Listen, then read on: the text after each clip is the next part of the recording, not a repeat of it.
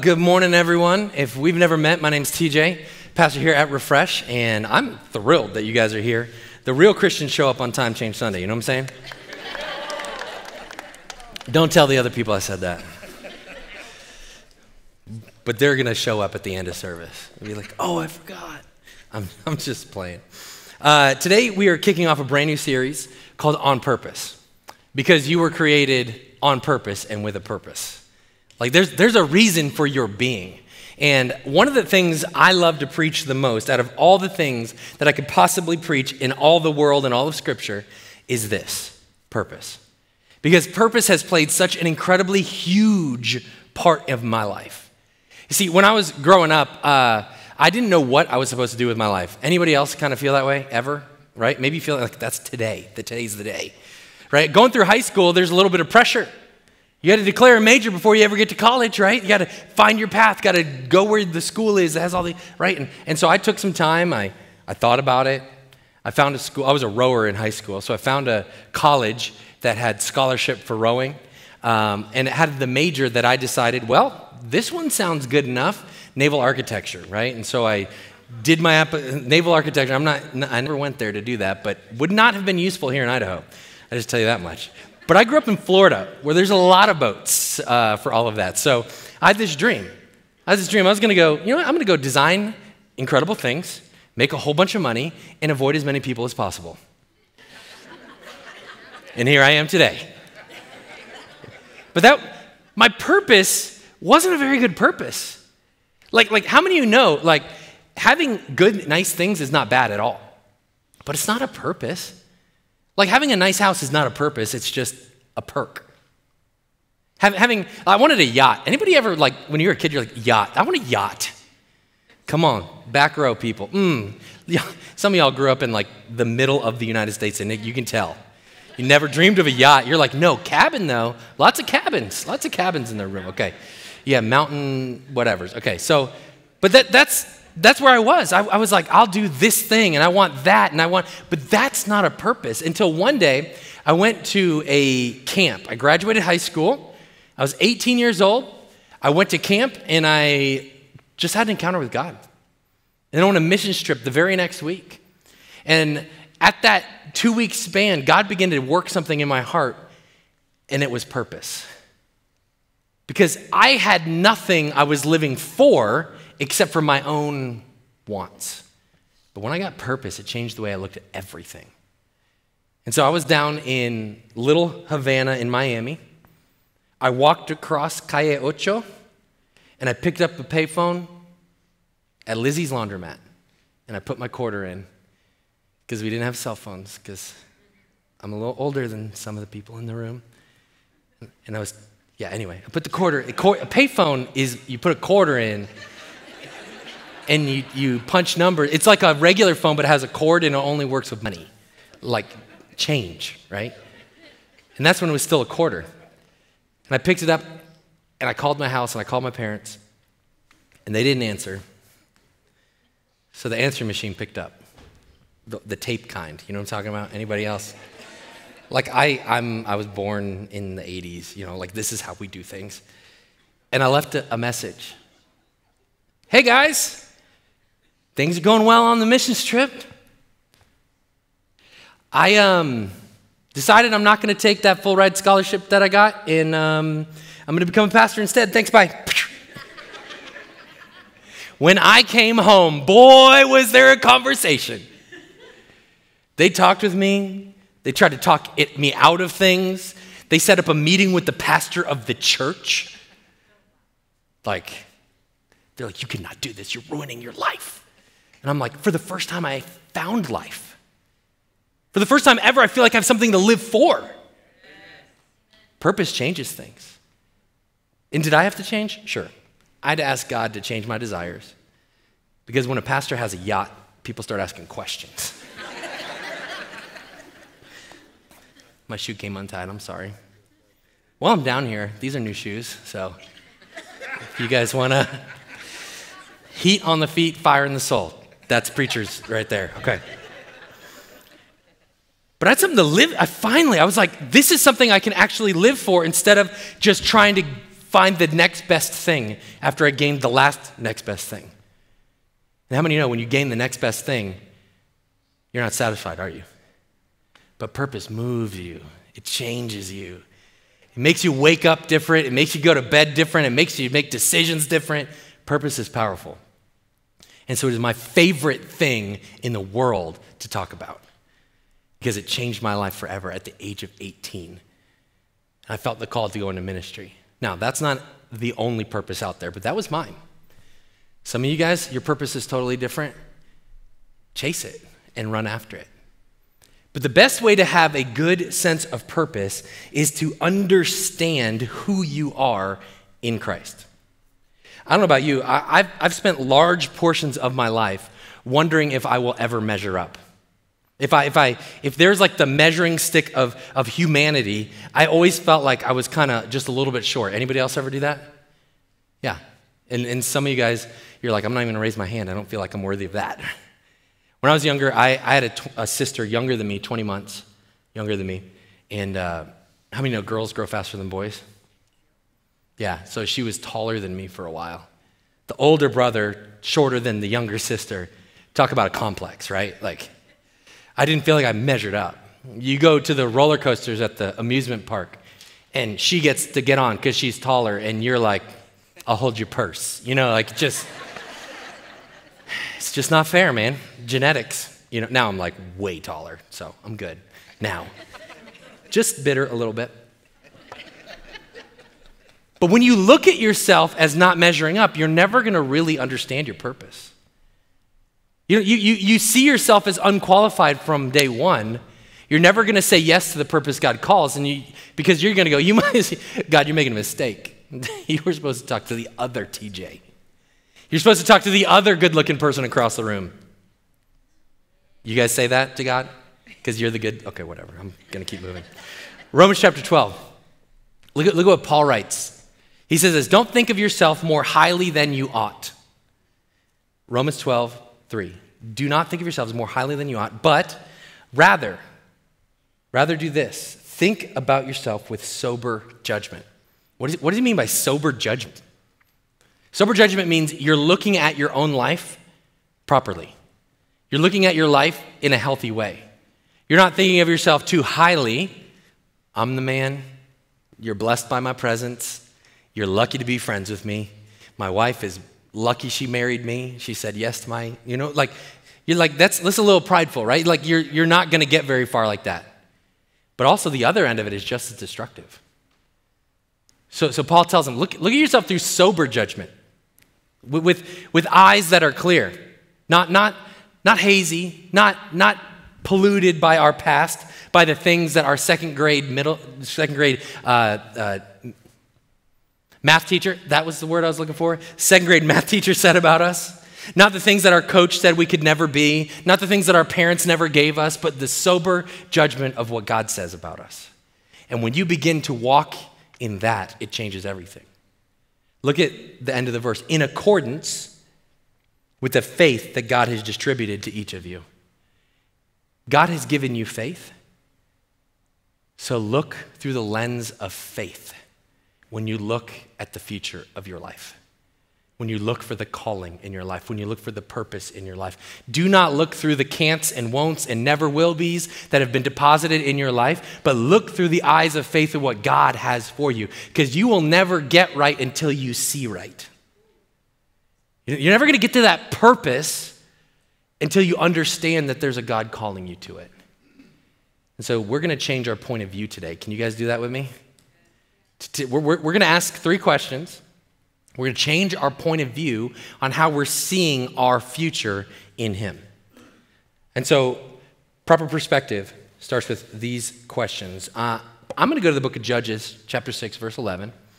And this introduces us to a guy named Gideon. Have you ever heard of Gideon before? Gideon is an Old Testament character. And at this time in the Israelite history, they had no king. They had become free from Egypt by the mighty hand of God, led by Moses into the promised land. Moses, dead. Joshua, his successor, dead. Now, Israel has no king, but they're being ruled by judges. God is their king, and the judges mediate between people. And so the time of the judges is around, and in this season, the Israelites have rejected God. The God who delivered their ancestors from Egypt, they go, uh, we'll try all these other gods too the Baals and the Asherahs and all that. And as a result of them leaving God, they left his blessing, and for seven years, the Midianites would come in and just ravage the land. They would come in and they would destroy all the crops, they would kill all of their farm animals, they would do everything they could to keep Israel in absolute destitute, destitution and poverty. And so the Israelite people were forced, they couldn't live out on the plains where they could grow their crops because the Midianites were just destroying it again and again. So they lived among the mountains and in the caves, and they tried to grow in small spaces so that they could survive. And that's the environment we find Gideon. And it says this in verse 11 Then the angel of the Lord came and sat beneath the great tree at Ophrah. Not Oprah, Ophrah, which belonged to Joash of the clan of Abiezer. Abiezer. You guys get it, right? Gideon, son of Joash, was threshing wheat at the bottom of a winepress to hide the grain from the Midianites. So, Gideon is lucky enough to have some grain. It grew, they harvested it, but now he needs to thresh the grain. Now, I don't know, I, I had to look this up. I'm not a farmer. Any, you guys might know what threshing is, I don't know. And so I had to look it up. And threshing is when you break the kernels apart and you throw it in the air, and the wind blows the lighter stuff away, and what falls down is what you keep. And it's traditionally done on a threshing floor, which has a place where it's out in the open where the wind can blow through freely, so that when you throw it up, the, re- the lighter stuff blows away, and the heavy seed, the part you want, falls to the ground. And so all that is left, the end, is what you want. Now, Gideon is afraid of the Midianites. So he's not out on the open on the threshing floor. He's actually in a wine press, which is a hole in the ground where they would press the wine or press the grapes to get the wine, right? So he's, he, he's down in a hole. And I don't know about you, when I read the Bible, I always read it sort of with a sense of humor. So I'm, I'm imagining he's like down in this little hole and, and he's got this grain and he's looking around and he just throws it out of the hole and waits for it to fall. And if it was like the opening scene of a movie, the first thing you would see is just like a level ground shot and grain just shooting up out of the ground. And you got to be going, what on earth is going on here? It's just Gideon. I just don't, I'm afraid. He's so afraid. He's literally hiding in a hole in the ground. And then, and then the, angel shows up to him there. And before I get to the angel's uh, uh, uh, questions that he has, I, I, I got to ask a question of you. So here's Gideon in the hole, full of fear. How do you think God sees you in those circumstances? Have, have you ever been in those circumstances? Like there's a fearful part of your life that you're, you're literally hiding from the world, and it might not be a physical thing, but it might be an emotional or spiritual or a broken thing on the inside of you and you find yourself down in the hole emotionally, I hope they don't see it. I hope nobody discovers this part of my life. I bet you've been there just like me, haven't you? Where we're just kind of hiding the broken parts of who we are. I believe that the fear in our life, the things that we're most afraid of, the things that we're hiding the most, are usually the things that are most intertwined with our purpose and our destiny. I, I didn't tell you, but when I felt called to go into the ministry, I was like, God, that's awesome. Thank you for this, I think. How about I'll be the guy that does the budgets and shuffles the papers around and like cleans the facility? I don't know. Like, just don't make me get in front of people. Because there's a fear inside of me. I think there's large parts of our life that are fearful, that are intertwined with our destiny, that are intertwined with our purpose. And I'm sure if you've discovered your purpose at some point in your life, you've understood that that's true. That you're saying, I don't know how, or I could never, and God's going, oh, that's exactly where we're going. That's your, we're going to go there. So the question is, how does God see you? How, how did this angel of the Lord look down at Gideon? How did he see him fearfully hiding in the press? It says this in Judges chapter 6, verse 12. The angel of the Lord appeared to him and said, Mighty hero, the Lord is with you. Again, I read the Bible with a sense of humor. And so I see the angel looking at the guy hiding in the hole in the ground, going, Mighty hero, I've been looking for you. God is so with you right now. It does, he doesn't look the part, does he? Do you look the part? Do you look the part of mighty hero? Do you look the part of God is with me? Look at my life. Do you look the part? God sees you that way. Even when we're cowering in the worst parts of our fear, He's like, man, there's something inside of you that I see. God is with you. God is stirring something in you. God has put that, that part of you together, and the enemy's trying to make you so afraid of it that you could never do anything about it. Mighty hero, the Lord is with you. He speaks life and hope into the darkest places of his life. Look at, look at what the uh, First Peter says in the New Testament about you. He says this You are royal priests, a holy nation, God's very own possession. He's, he's speaking to people that are followers of Jesus. He says, You're not just a person, you're actually royal priests. Oh, TJ, I'm not good enough to be a priest. Guess what? That's what he calls you. No, but if you knew my life and the things, and I'm hiding in this wine press, and I'm not that kind of person. Well, God says you are. That's good enough for me, right? Is that good enough for you? Like, all of us are in the ministry. All of us are called a holy nation. All of us are his holy possession, right? And as a result, you can show others the goodness of God for he called you out of the darkness into his wonderful light. He's calling you out of the darkness of the holes and the pits in your life. He's calling you out, going, Mighty hero, there's so much more for you. Royal priesthood, come on out here. I've set you apart for this thing. And in that good news, you guys are going, Well, I didn't have my cup of coffee yet, so I think it's good news. But I promise you, it's good news. Even if you do not see yourself that way, that's how God sees you. So when you're wondering what your future holds, I believe, I believe it's for something incredible. And it may not be, hey, I'm going to change the entire world with my life incredible, but the kind of incredible that impacts the person beside you in an incredible way, that changes their destiny forever, and changes those people over there forever and the course of the lineage of your family line is changed forever. That kind of incredible when you see yourself the way he does. The, the second question I have for you guys is how do you see God? This is Gideon. He, he's like, it's clear the angel of the Lord goes, Hey, you're a, you're a hero. God is with you. You're, there's so much in front of you. God has incredible things. And then Gideon's response tells us how he sees God. And how he sees God is, well, He's not ever going to get right until he sees right. And look how he sees. Judges chapter 6, verse 13 continues. Sir, Gideon replied, if, don't you always hate it when somebody's like ifing you? If the Lord is with us. You notice, you notice the tense change there? Like, like God is with you, and he's like, well, if God is with us, He's changing the subject a little bit, isn't he? Maybe, maybe right now, like I, I, stepped on a sore spot of the fear points in your life, and you're like, well, what about this over here instead? Anybody else do that?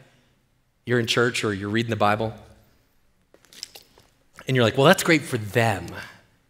But I don't know if it's good for me. If God, why, why is, if God is, the Lord is with us, why has all this happened to us? And where are all the miracles our ancestors told us about? Didn't they say the Lord brought us out of Egypt?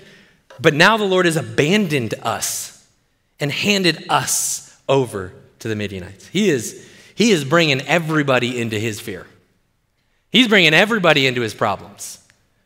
He, misery loves company, right? Man, aren't we really quick to share the pains of life? We're like, you'll never believe what that person said about me oh, this, this thing over here hurt you. I'm not ever going back to that church or that workplace or that person or what, whatever the case is. Our wounds and our fears, they spill over into the world around us. And that's Gideon. And, and honestly, he's treating God like he's distant. He's treating God like he's an unknown commodity. He's treating God like he doesn't care.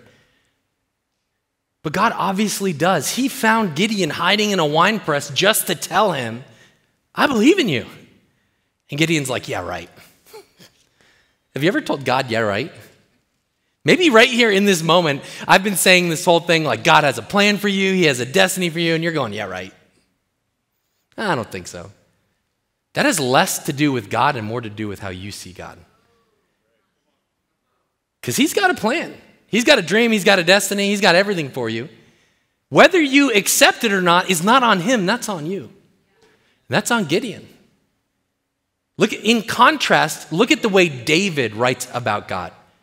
So, so Midianites are like, he's like, oh my gosh, God, you've abandoned us. Oh my gosh, Gideon saying all these things. Why have you been far from us? Look at David, the man who, who constantly was under siege and attack. Look what he writes in the book of Psalms. He says this You are my strength. I wait for you to rescue me. To you, O God, are my fortress. You, O God, are my fortress. In his unfailing love, my God will stand with me. David was under just as much pressure, just as much oppression and attack throughout the course of his life. And he goes, Yet I will still stand on the rock of my God, the fortress of who he is. I love that song, Firm Foundation, don't you? Man, I've got a firm foundation. Even, even though I want to crawl under the firm foundation into the wine press and hide away from life, I still know that he's stronger than anything else. And if I stand there, something special is happening. Amen? Amen. First or Second Corinthians in the New Testament, Paul talks about a, a weakness, a brokenness in his own life. He's pretty candid at what God said to him. He's saying, I'm broken. I don't know if I have what it takes, and all these things. You, you take this suffering away from me. Look what God responds. He says, My grace is all you need. My power works best in weakness. Well, if his power works best in weakness, I've got all the weakness he can handle, right? Which means all the power available from God on high is available to me. Because if all it takes is weakness, handled, right? Like we can do this. And so look at Paul's response. He says this So, so now I'm glad to boast about my weaknesses, so that the power of Christ can work through me.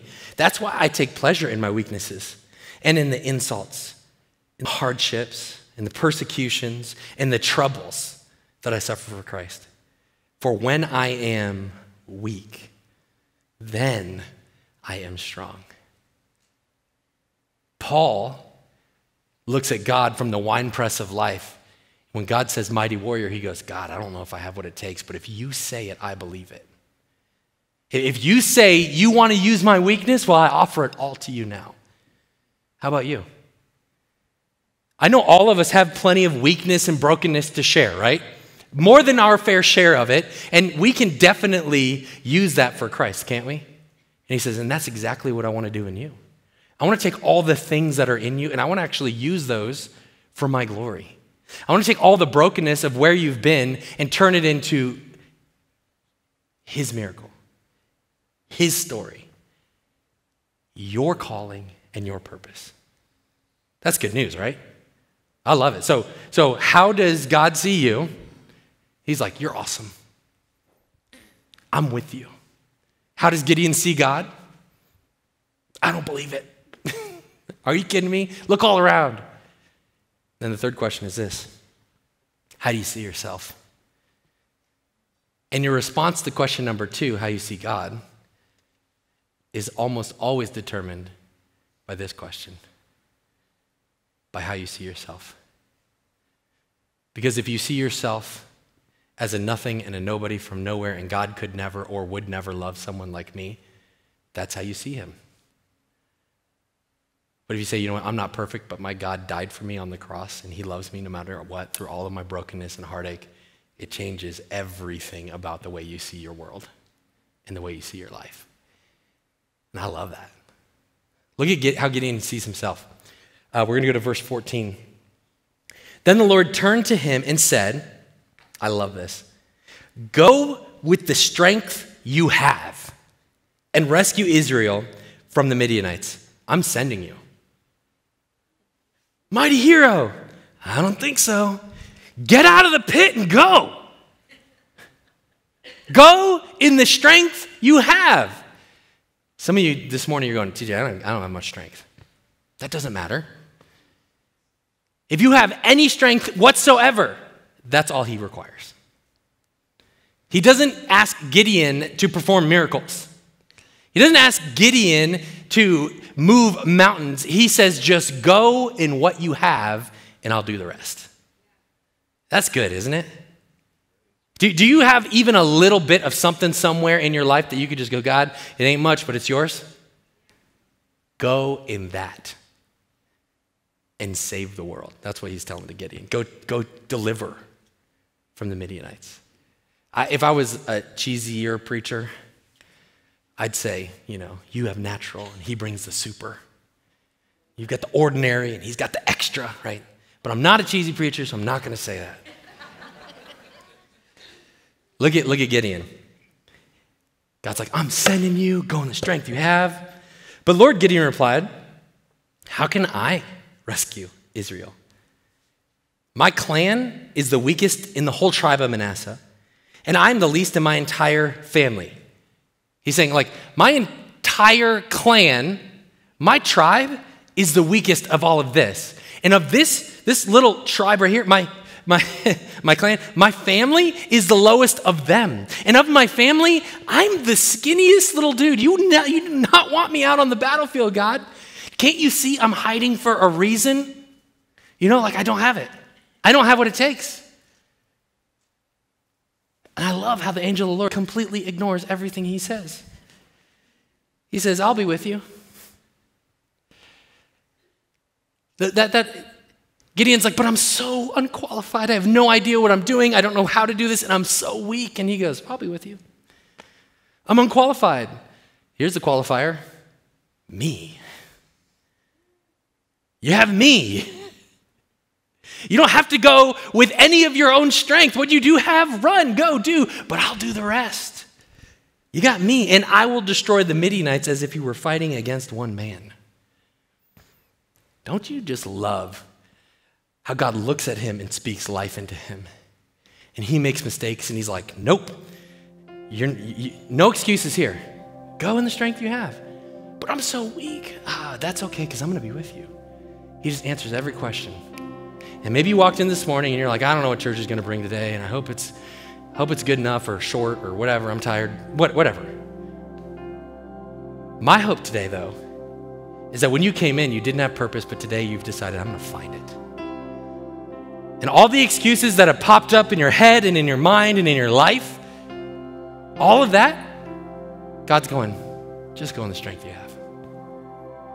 I'm with you. You're a mighty warrior. And I pray that by the end of today, you believe what God says about you. Because He did not send His Son so that you could just exist in the fear and the trepidation and the brokenness of this world. Listen, sin, it destroys everything. Like, why is Gideon hiding in a wine press? It's because sin ruins everyone's life. Brokenness is everywhere, right? Does that mean God can't redeem it? No, not at all. He says, if you take that brokenness and you give it to me, and you go in the strength you have, we're going to do something with this. Gideon was far from perfect, and we're going to continue the next couple weeks in the story of Gideon, and you'll see he's not really a man of faith. he's like actually the opposite. He is the most reluctant follower of God in almost all of the Old Testament. He's like, Are you sure? And God's like, Yeah, I'm sure. And he goes, But can you show it? Okay, he proves it. And he goes, Okay, could you show me one more time? Oh, that's great. Um, not to be rude, but could you show me one more time? He keeps doing it. He keeps asking the questions again and again and again and again. Listen, faith is faith, even if it's small, even if it's slow. It's still faith. So go in the strength you have. One more verse for you today, and this is a verse that has spoken volumes over my own heart for years and years and years. And it's this For God has not given us a spirit of fear and timidity, but of power and love and self discipline. The fear that you're feeling is not from God. The timidity that has been holding you hostage, He never gave that to you. The brokenness of sin has hurt our world. But what did He give you? He gave you power, His power.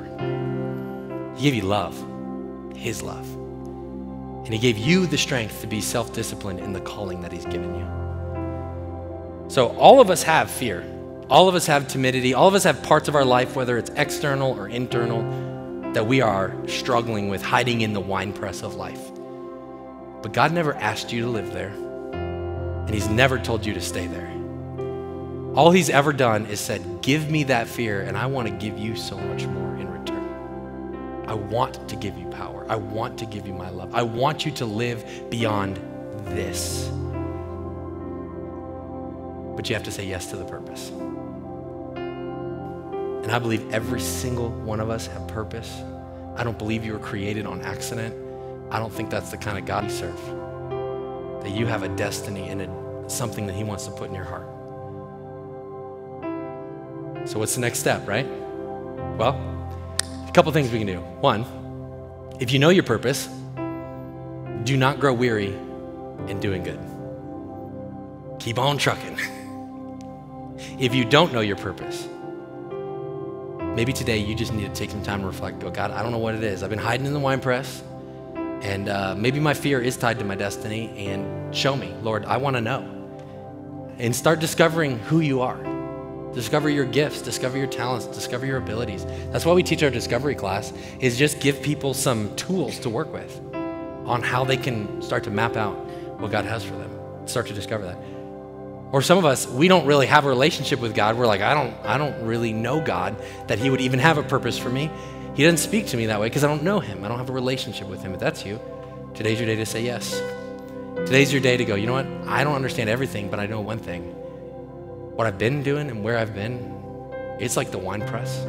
It's fearful, it's broken, and I'm hiding. And if on the other side of that is power and love and self discipline, I'm in. If that's you this morning, we're going to pray a prayer in a moment, and it's simple. And I'm just going to ask you guys to close your eyes and bow your heads with me, and we're going to pray. So, all across this room, can you just take a moment? And I only ask you to close your eyes and bow your heads just so there's no distractions, no one moving around, no, nothing like that. I just want you to listen for the voice of God. And today, some of you, you're getting purpose. For some of you, God is refining purpose. And for some of you, he's just saying, I want to know you. I want to start the conversation with you today. If that's you, I'm going to pray a prayer, and there's nothing special in the words that I pray, but there's something incredible that happens when you And you can pray something like this Father, today I surrender everything I am to you. You, first and foremost, are everything to me. And so I surrender everything I am. I want to leave behind fear, brokenness, and sin. I ask you to forgive me and bring me new life and power and love and self discipline. Thank you, Jesus. In your name we pray. Everybody says, Amen.